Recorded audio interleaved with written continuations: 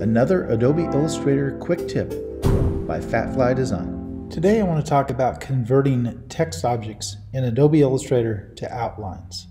When we use the type tool in Illustrator and we come out here and we click and we type anything,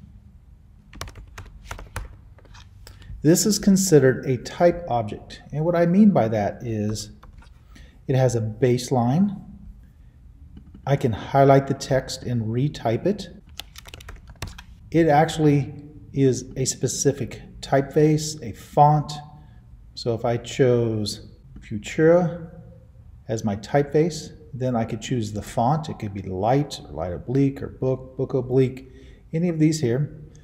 I can change its point size. I can come over here to the character panel and I can edit it as type. And that's great while we're editing our projects. Maybe I make a typo or a misspelling, I can come back and fix that.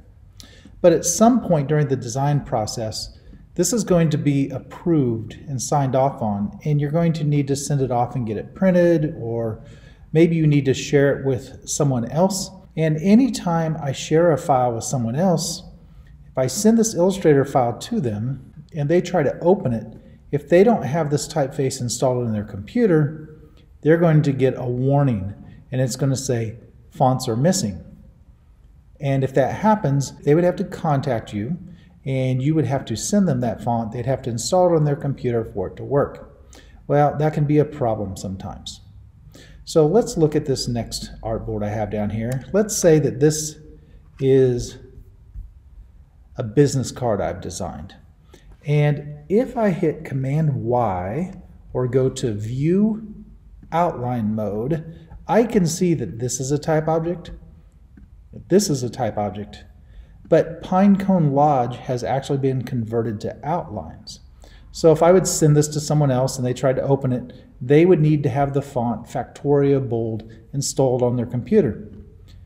But I don't want to cause them that problem. So what I'm going to do is I'm going to select my type object and I'm going to go to Type create outline. And you notice that the keyboard shortcut is Command Shift O, create outlines. And what happens is it turns it into outlines. It's a shape now just like any other shape, and I could edit it just like any other shape.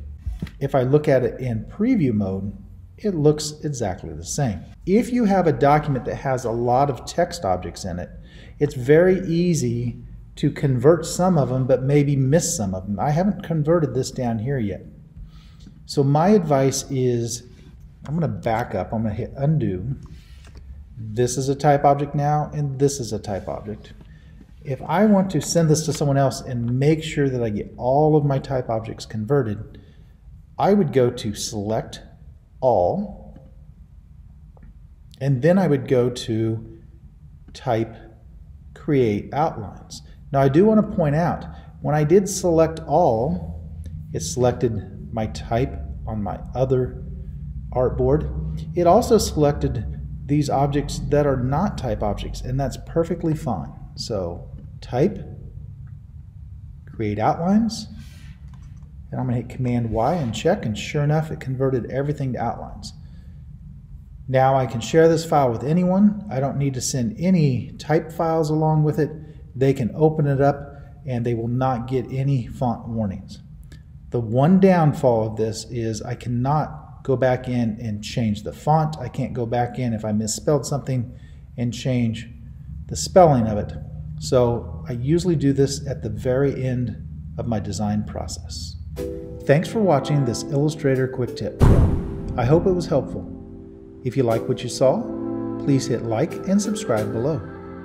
And if you get a chance, visit my website at fatflydesign.com.